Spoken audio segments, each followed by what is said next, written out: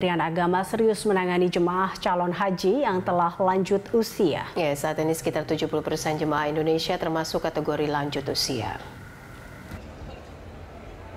Lamanya antrian masyarakat Indonesia yang ingin melaksanakan ibadah haji membuat hampir 70 persen jemaah Indonesia masuk kategori lanjut usia, yakni di atas 50 bahkan 60 tahun. Dari aspek kesehatan, hal tersebut menimbulkan konsekuensi tinggi.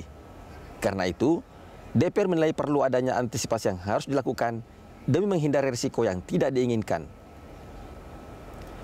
Wakil Ketua Komisi 8 DPR RI, Marwanda Sopang mengatakan, pemerintah bisa memberi perhatian lebih kepada pasien lanjut usia. Marwan juga meminta petugas haji harus maksimal menemani dan mendampingi jemaah lanjut usia, terutama dalam menjalankan ibadah tawaf dan sa'i.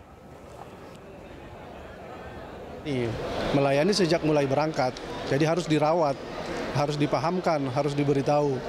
Nah, kalau sudah begitu, maka layanan di di sini harus diperhatikan. Jadi catatan-catatan itu sudah penting. Berapa yang harus dipantau, berapa yang harus dikawal uh, itu penting.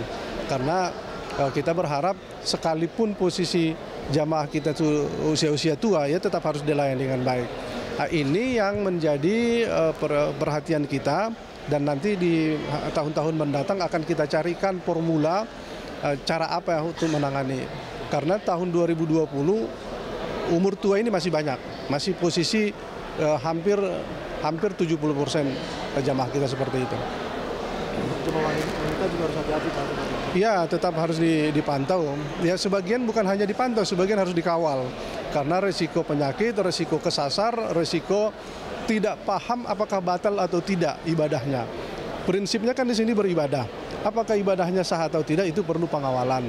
Tapi tidak bisa hanya sah ibadah saja, tetapi kenyamanan. Maka karena itu layanan ini penting.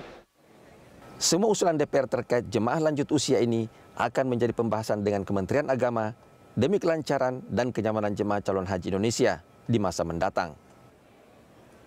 Hari Ruliansa, Suhodo, Berita Satu, Mekah, Arab Saudi.